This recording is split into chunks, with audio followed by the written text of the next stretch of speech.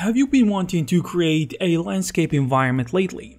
Either to use it in a video game or to make a scene out of it. You might have been stuck or overwhelmed by the process because it is very hard and takes a lot of time.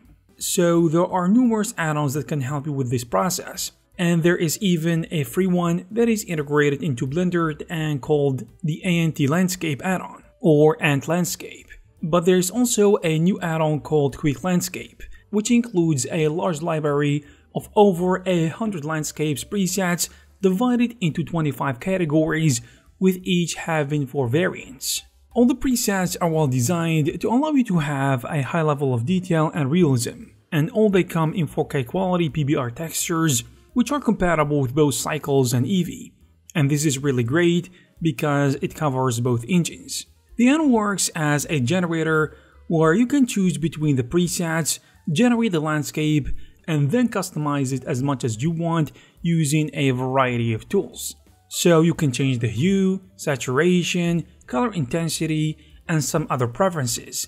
And when it comes to optimizing performance, the add-on allows you to choose the mesh quality between low, medium, and high, so that you can work comfortably in the preview while having a high quality in the render view, which is the most important thing. And as I said earlier, Quick Landscape comes with a bunch of features that allow you to take your landscapes to the next level. For example, you can quickly add realistic fog to either the surface of the landscape or to the entire world. And you can precisely control some attributes such as texture, scale, density, and more. Additionally, the add-on allows you to create an anti-tile expandable landscape system, meaning that you can have an endless landscape and you can also add generated real-time ocean foam on islands and cliffs, which is really cool. In a nutshell, the Quick Landscape add-on works really well and allow you to create high quality landscapes, and it has a great performance that can handle mega landscapes, especially for big projects. And what's good about it is that it is powered by geometry nodes, which allows you to control a lot of things about your landscapes. So if you are interested, you will find the necessary links in the description. I hope you guys found this video useful. If you did, please give it a thumbs up.